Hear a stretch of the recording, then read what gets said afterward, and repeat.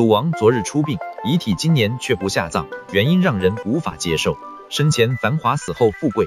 二零二零年五月二十六日，何鸿燊去世，一代赌王的传奇人生落幕。昨日赌王出殡，悼念仪式在香港殡仪馆举行，何家全部到场，各界大佬和娱乐圈明星也都前来吊唁，所有的事情准备就绪。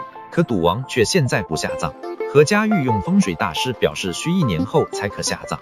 大师表示，因为今年没有下葬的好日子，所以在何家人都同意的情况下。会在明年选一个良辰吉日下葬。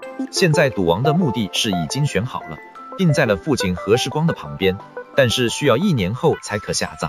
但是关于赌王此次不下葬的原因，传言有很多种说法，但是传的最多的还是当年赌王的奇迹事件有关。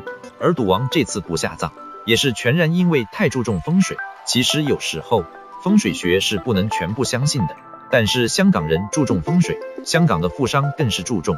外界传出的赌王不下葬的原因也是非常的令人难以理解。